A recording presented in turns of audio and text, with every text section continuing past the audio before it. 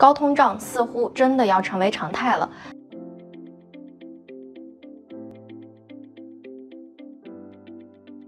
大家好，欢迎收看 Go Markets 的热门话题解析，我是 Share。今年早些时候，美股大跌，债券遭受数十年最严重的损失，消费者价格指数飙升，但美国金融市场仍旧存在着避风港，石油等大宗商品不断上涨，甚至连不断上涨的房价和租金也支撑起了美国房地产事业。但如今，这些避风港似乎正在消失。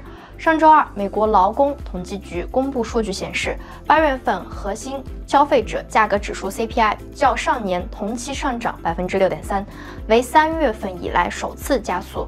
这些数据粉碎了市场对于美联储非暴力加息的幻想，并且巩固了美联储将在九月二十一，也就是本周四，连续第三次加息七十五个基点的观点。在通胀报告公布之后，标普五百指数仅在周二一天就暴跌逾百分之四，上周收盘时下跌近百分之五。彭博大宗商品指数自周二以来下跌了百分之三。美债收益率攀升，推动美国政府债券今年损失超过百分之十一。美元是为数不多的亮点之一，利率不断上升，推动了美元的走高。宾夕法尼亚大学和香港大学研究人员进行的一项新研究发现。根据1963年至2019年的数据，当核心通胀超预期上升时，股票、债券、大宗商品和房地产投资信托都将面临着严重的损失。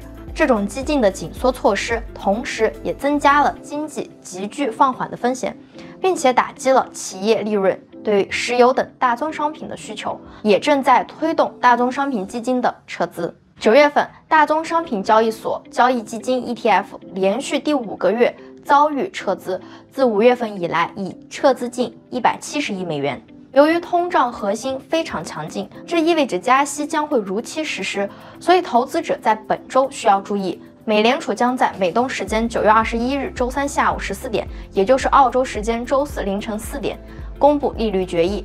政策声明及经济预期。随后，美联储主席鲍威尔将召开货币政策新闻发布会。受英女王去世的影响，英国央行推迟了原定于上周发布的利率决议，推迟至澳洲时间周四晚二十一点。